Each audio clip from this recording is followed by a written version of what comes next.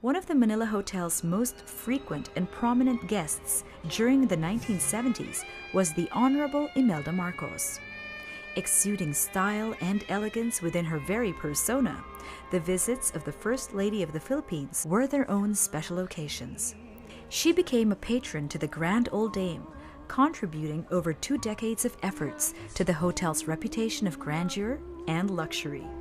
Upon entering the Manila Hotel, red carpet and garlands would be put out, and the air would be perfumed with fresh scents and sweet aromas. In 1976, Imelda Marcos placed a time capsule into a floor crypt in the grand lobby. The contents of the capsule and its location remain unknown to this very day. Through her patronage, the Manila Hotel gained international recognition and truly became the place to see and be seen.